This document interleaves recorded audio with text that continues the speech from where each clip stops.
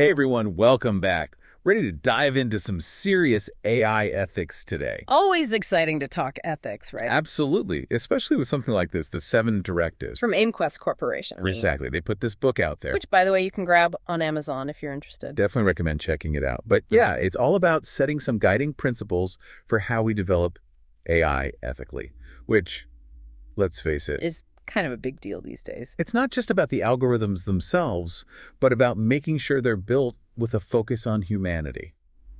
And that's where this book really digs deep. I mean, it goes all the way back to the very beginning. To the beginning. Yeah, like 1956 when the term artificial intelligence was first coined. Can you believe it? 1956. That feels like ages ago in the tech world. Right. Back then, AI was all about rule-based systems, very different from what we see now. Now it's all data-driven. AI practically thinks for itself. Kind of wild when you think about it. It is. And that's where things get really interesting, ethically speaking. We're talking about self-driving cars making life or death decisions. Whoa, okay, hold on. Self-driving cars, right? Imagine this. The car has to choose between two bad options.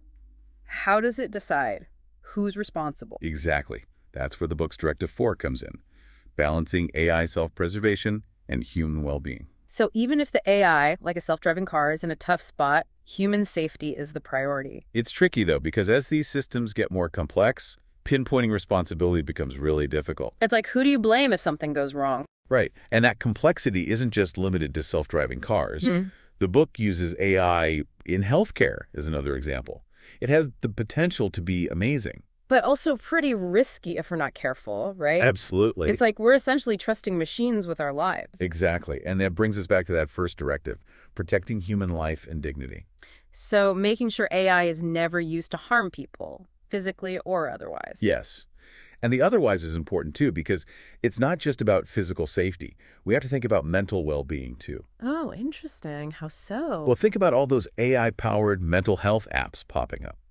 They could be great for access, but we need to be careful. right, because mental health is so complex. Exactly. It's not as simple as an algorithm just give you a diagnosis. You need human understanding, empathy, all those things AI struggles with. It's true, technology can only go so far. But, you know, speaking of potential downsides, something that really stuck with me from the book was its focus on threats. Yeah, Directive 5, right. Identifying and addressing adversarial forces. That's the one. And it's not just about, like, some evil AI taking over the world, though I admit that thought crossed my mind. It's a classic for a reason. But the book goes deeper than that. Which is good because honestly, that whole AI rebellion scenario is a bit much, even for me. Totally. What the directive emphasizes is being proactive, not reactive. Think about it. We need to identify potential issues before they become huge problems. Like what? Give me an example. Well, for starters, we have those who might want to use AI for malicious purposes, but it goes beyond that we need to anticipate unintended consequences, design flaws that could cause harm. And even the possibility of AI itself becoming a problem. Precisely. Like, what if its goals end up misaligned with human values? It's not about AI being evil, but about making sure we're aligned every step of the way. Now, that is a little unsettling. Makes you think twice about those sci-fi movies where the robots take over, huh? Right. But hey, that's why we're having this discussion. This directive is about being aware, vigilant, and always asking what if. And building in safeguards. Absolutely. Yeah. At every level, from the algorithms themselves to the entire AI ecosystem. So it's really about making sure that AI, with all its potential, is used responsibly. Exactly. And that responsibility isn't just on the shoulders of developers. It's bigger than that. You're talking about like a collective effort. Absolutely. The book even uses this interesting phrase, a social contract for the age of AI. Okay, a social contract for AI. I like that. Yeah. So where do we even begin? What are the rules we should be following? Well, the book really stresses transparency. Like, we need to be able to look under the hood. Meaning, We need to understand how these systems work, how they make decisions, what data they're using. It can't just be a black box, right? Especially when it comes to something as important as healthcare. right, we were talking about AI and healthcare earlier, and the stakes are pretty high there. Absolutely. And that's a big focus in the book. It highlights the potential, which is huge. Imagine AI catching diseases before you even have symptoms. That would be revolutionary. Right. But it also emphasizes caution because using AI in this way, dealing with people's health, it requires a different level of scrutiny. Especially when you're talking about sensitive health data, there needs to be some serious protection there. 100%. And that's where Directive 2 comes into play, ensuring data integrity and algorithmic transparency. So it's not just about the data itself, but also how it's used, right? Right.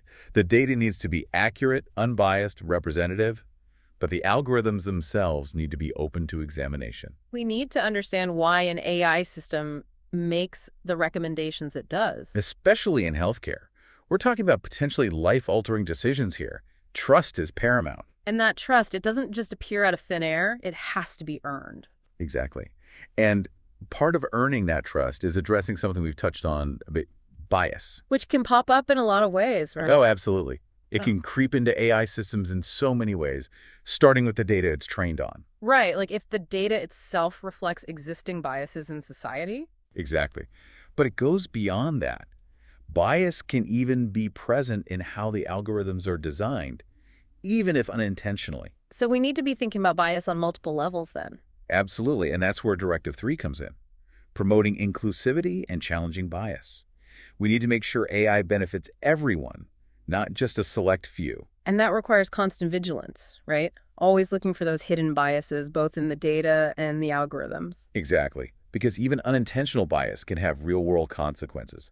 Think about an AI system, maybe one that's used to help allocate medical resources. Oh, wow, yeah. If it's trained on biased data, it could perpetuate inequalities in healthcare access, even if that wasn't the intention. And that's just one example. It's a good reminder that we're not just dealing with code here, but with real human lives. There's a weight to that for sure. Yeah. It's like we're walking this fine line between the potential of AI and the responsibility that comes with it, you know? Yeah. Making sure it doesn't make existing problems worse. It's a balance, that's for sure. And that's why the book goes beyond just building ethical AI. Mhm. It emphasizes fostering an ethical AI ecosystem. An ethical AI ecosystem. Okay, so what does that look like? How do we even begin to build something like that? Well, education is a big part of it. Okay, makes sense. Directive 6, promoting ethical AI education and awareness, argues that we need to give people the tools to understand this stuff. And not just the tech people, everyone. So not just teaching people how to code AI, but like how to think about its impact on the world. Exactly. It needs to start early, integrating these conversations into school, creating a culture of responsibility in tech. It's about getting people comfortable asking the tough questions, right? Yes. Like, what are the downsides? Who really benefits? Who might get left behind in all this? It's about more than just the technology itself. It's about the human side of it all. Completely. And those questions, they lead right into that final directive, Directive 7, ensuring ongoing ethical oversight and adaptation. So it's about staying vigilant even after the AI is out there. Exactly. The book makes it clear this isn't a one-time thing. The ethical landscape of AI, it's constantly changing as technology evolves, as we see its impact. It's ongoing. So it's about constantly evaluating, making sure things are still ethical, even as AI changes. Precisely. We have to constantly ask ourselves, are the rules we have still relevant? Are there new risks we haven't thought of? How do we adapt to make sure AI is a force for good in the world? That's a lot to grapple with. It is, but that's why I found this book so interesting. It's more than just a how-to on AI. It's a call to action for everyone. Because ultimately, the future of AI, it's not up to the machines, it's up to us. Exactly. And that brings us back to the social contract we were talking about.